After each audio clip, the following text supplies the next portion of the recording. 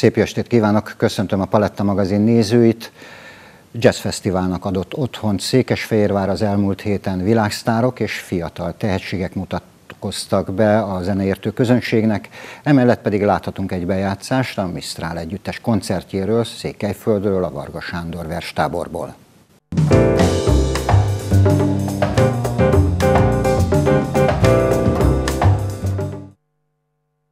Alba Régia Jazz Fesztiválon Vörös Janka és új zenekara a New Series egy egészen különleges hangzásvilággal mutatkozott be.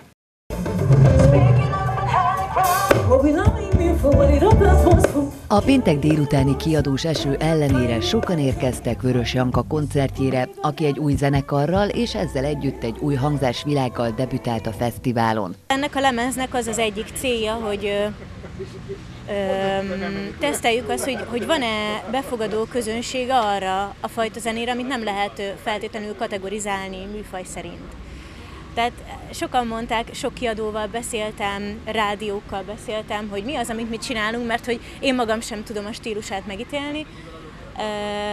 És azt mondták szinte egyöntetően, hogy jazznek túl jazz, túl popos, popnak viszont túl jazzes, tehát nincs feltétlenül egy olyan felület vagy platform Magyarországon, ami ezt fel, fel tudná karolni. Én azért hiszek abban, hogy, hogy a zenes stílus nélkül is fülekre talál és, és szívekre.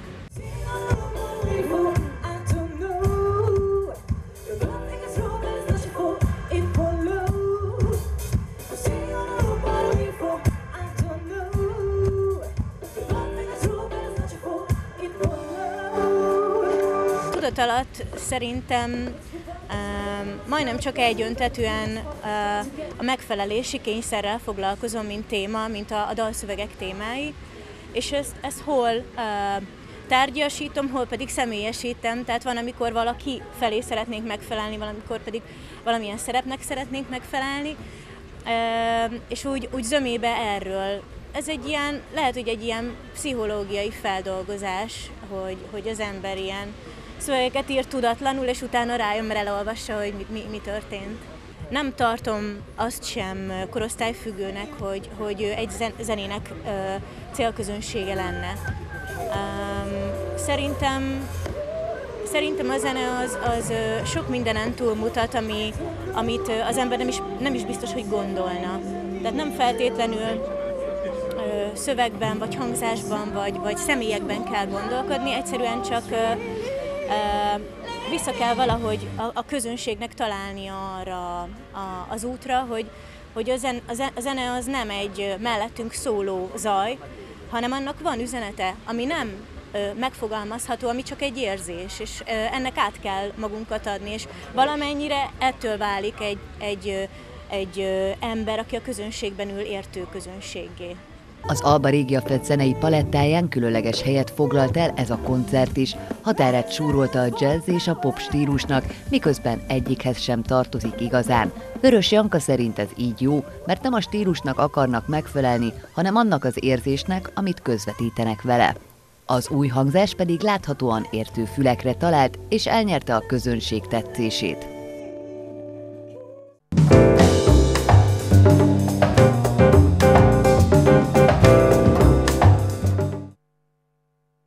Szintén a fesztivál vendége volt a 80 esztendős legenda Dezső Csaba születésnapi koncertján rendkívül sok zeneértőt vonzott az Icsiligetbe.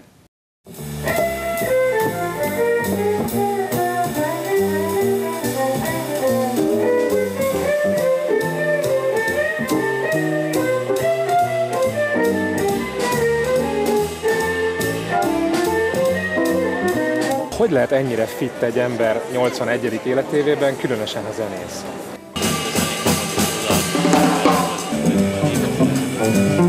Azt hiszem, hogy abba kell hagyni. Volt ilyen szándékom, aztán annyi kedves felkérést kaptam, hogy mégis úgy döntöttem, hogy folytatom. És elvállaltam egy pár olyan kedves meghívást, ahova tényleg örömmel megyek. Hát, hát ez a Fehérvár, hát ez nekem most egy akkora élmény, komolyan, mikor idejöttem, és itt szétnéztem, nosztalgiáztam itt a színház körül, Nem tudom megmondani, hogy hány éve jártam itt utoljára, de valamikor nagyon sokat játszottam. És nagyon szép emlékek, már a 60-as évekig visszamenőnek, tehát ha belegondolok, 50 év. Azt említettem itt a koncerten is, de most hadd mondjam el, hogy az egyik legszebb emlékem pontosan 50 évvel ezelőtt fűződik, amikor a kvártettemnek a tagjai az zongoránál Vukán György, a bőgőnél Berges Balázs és a doboknál Kovács Gyula voltak. Hát óriási siker volt, mondanom sem kell, a rádiófelvétel volt, hát nem tudom elfelejteni. Ez most, ez jutott hirtelen így konkrétan eszembe, de hát sokszor voltam itt, és, és nagyon szerettünk ide járni mindig.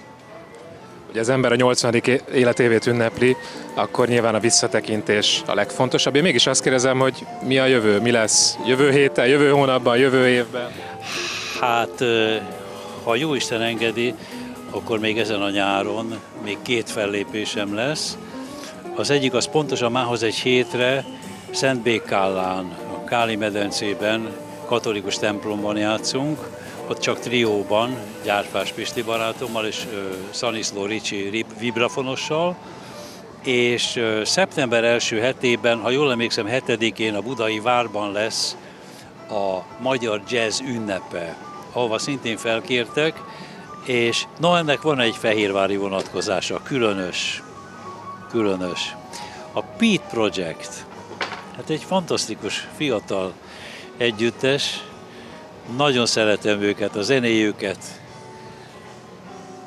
Fölkértek, hogy a következő lemezükre, ami most fog megjelenni a napokban, játszanék egy számban. És boldogan elvállaltam, és azt hiszem, hogy nagyon jól sikerült, és, és örömmel várom a megjelenést, a lemezt, és nagyon sokra becsülöm ezeket a fiatal srácokat, akik tulajdonképpen nevetek, amikor erre gondolok. Hát 50 évvel fiatalabbak nálam.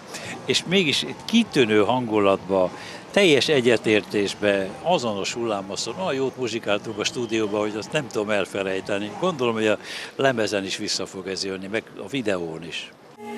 Ki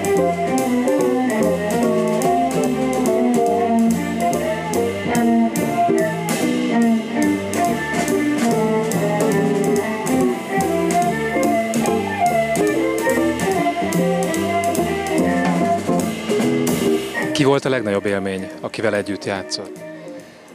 Húha, ez váratlan. Ez váratlan, mert nagyon sok, nagyon sok volt. Talán azt mondanám, hogy nekem volt egy nagyon hosszú, tartós kapcsolatom egy kiváló zenész világsztárral, aki nem amerikai volt, hanem zágrábi. Boskó Petrovics, vibrafonos, aki itt a Fehérvári Alba Régia napokon többször fellépett annó saját együttesével, és ővele én a 70-es években kerültem kapcsolatba, és egész a haláláig, ami hát sajnos 2011-ben bekövetkezett, rendszeresen jártam Zágrábba, és ott együtt muzsikáltunk, nem csak zágrábi horvát muzsikusokkal, hanem ő hozzá már korábban, mint ide, rendszeresen jártak a klubjába amerikai, svéd, német, stb. stb. zenészek, akikkel volt alkalmam együtt játszani. Felejthetetlen emlék. Van olyan esetleg, aki kimaradt, akivel szívesen zenélne? Ez most megint egy nagyon váratlan kérdés, mert ugye nézzük a hangszert. Tehát a hegedű ritka, ritkaság a jazzben a mai napig.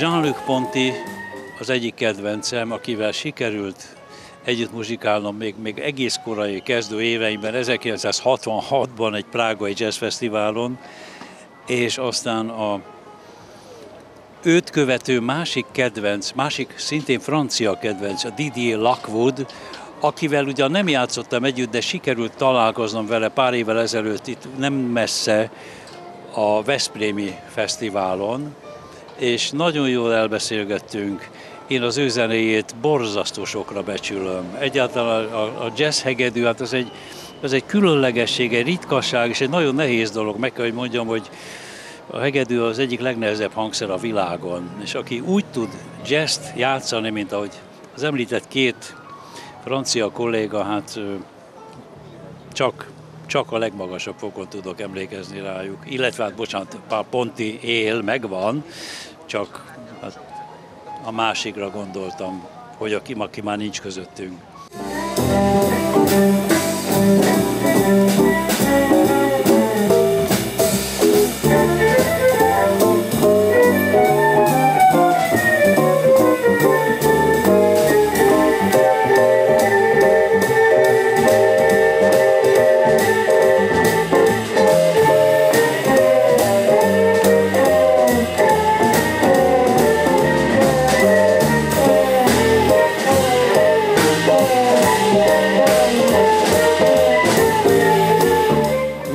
Hallgat szabad idejében?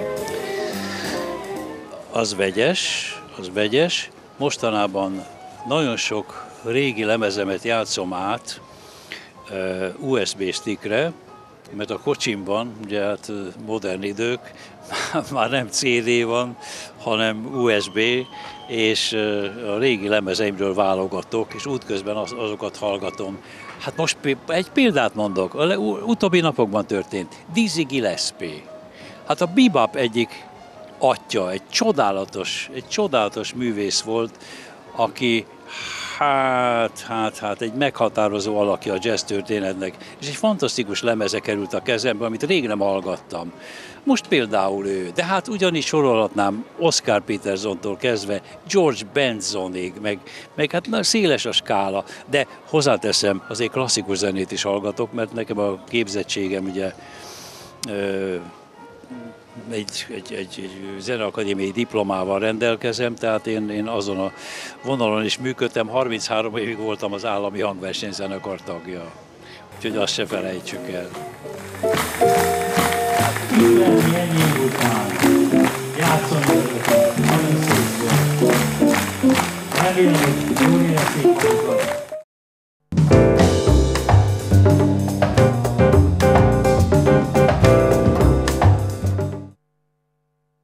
Egy másik legenda, török Ádám is megtisztelte Székesfehérvárt, a Mini Acoustic Band koncertjéről láthatunk egy összefoglalót.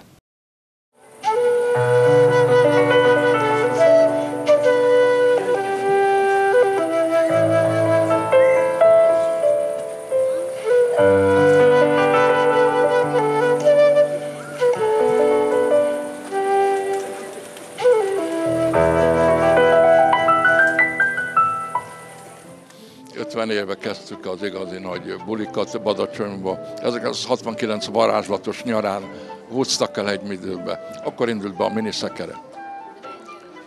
Um, ugye, hogyha már Woodstockot említetted, uh, angol címe volt az első, első lemezeteknek? 72 az első lemez volt? A Fruit Pebbles? Fruit Pebbles?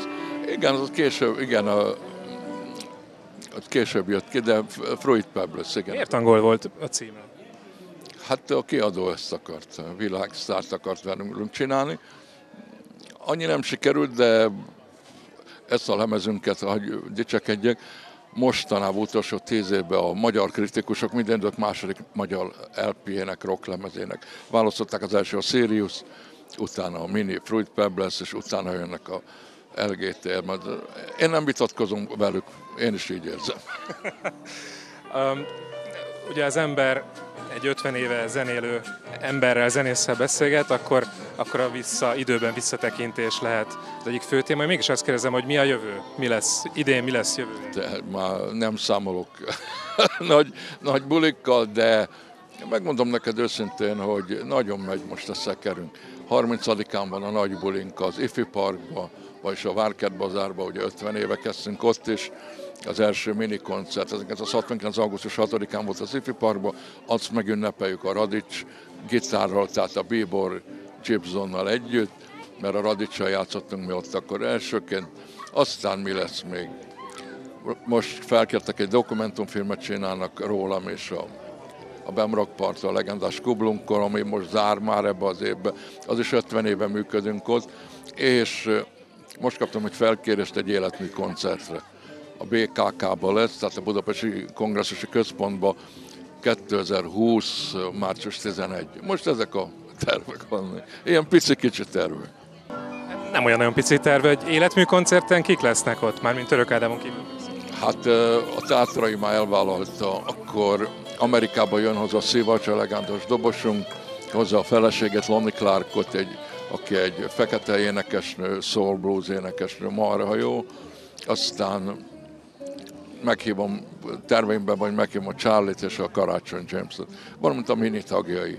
Pap Gyulával az élen, vagy az új hegedűsünk Kézdi Luca, aki világszínvonalú, és hát a többi. Az embernek, hogyha a török Ádám, akkor időnként választania hogy éppen énekel, vagy éppen fuvolázik. Melyik, melyik a kedvenc? Hát a harmadik, szerettem volna tangó harmonikát. Nem kaptam tangó harmonikát, így maradt a, a fuvola és a csörgődob. Tehát én ezeket csinálom és ordibálok 50, több mint 50 év. Most ugye Bartók feldolgozás is lesz a színpadon.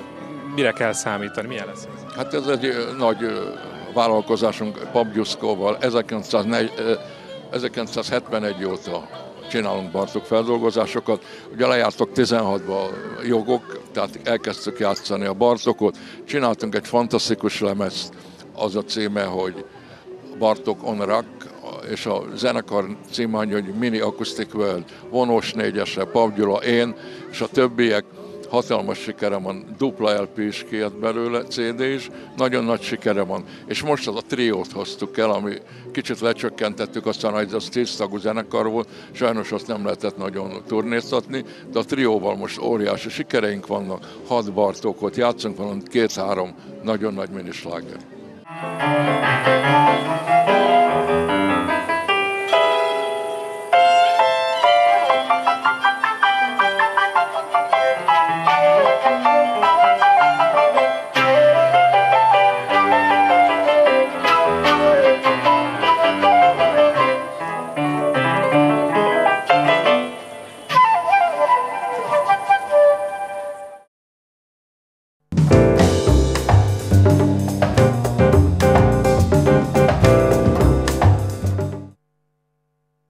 Az idei Varga Sándor verstábor egyik csúcspontja, mint minden esztendőben a Misztrál együttes koncertje volt. Nézzük meg, hogy mit játszottak nekünk Heitzinger Mikályék. Hozzánk lassú nyüzsgő szemükben harmat áhítat. Csigács iszonyú nagy füvek közt, sárga világ alatt.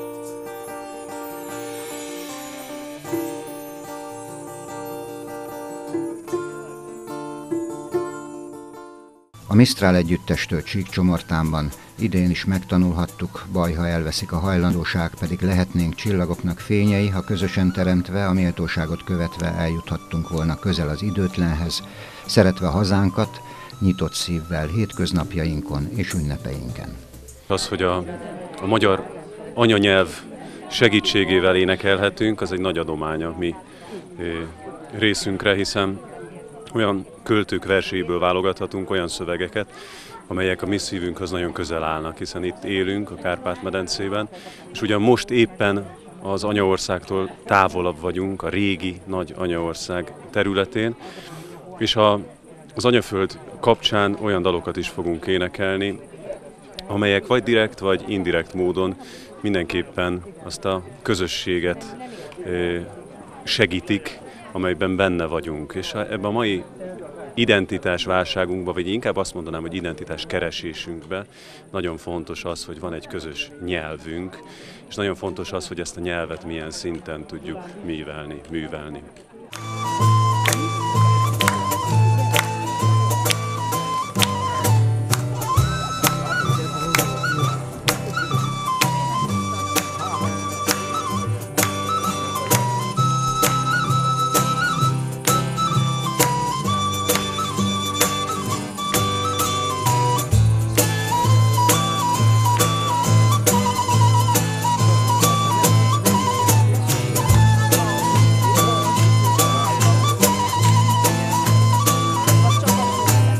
Gábor, Mika, Máté és Tamás által ismét megerősítetett, hogy játékaidat elvehetik, ruháidat, pénzedet is elvehetik mások.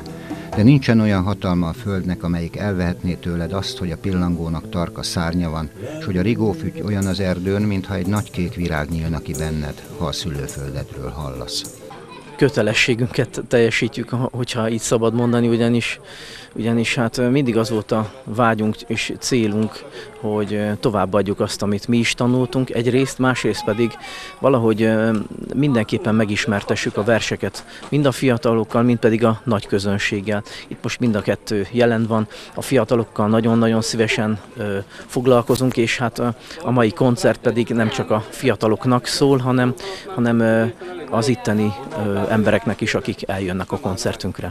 Földre hullva levetkőznek, levetkőznek, szeretkeznek, önkívültem embereknek, embereknek elvegyülnek, akinek bent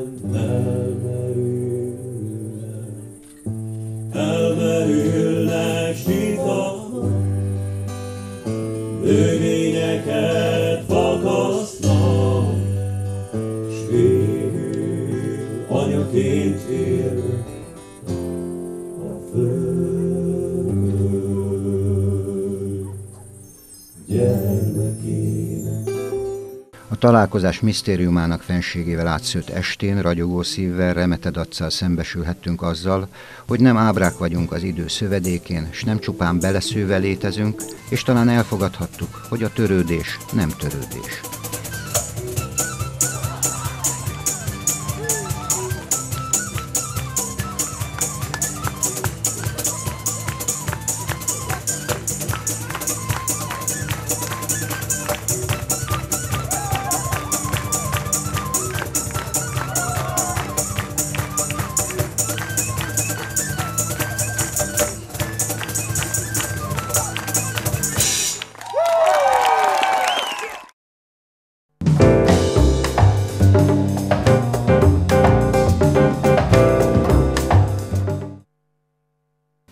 Kedves nézőink, köszönöm megtisztelő figyelmüket, találkozunk a jövő héten ugyanebben az időpontban ugyanitt. Viszontlátásra!